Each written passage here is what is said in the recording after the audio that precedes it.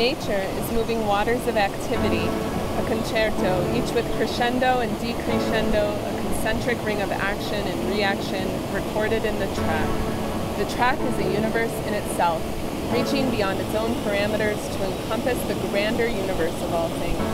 Nothing can move in nature without affecting everything else. Waves touching waves, generating currents, creating ripples of all movement in this interplay of moving water.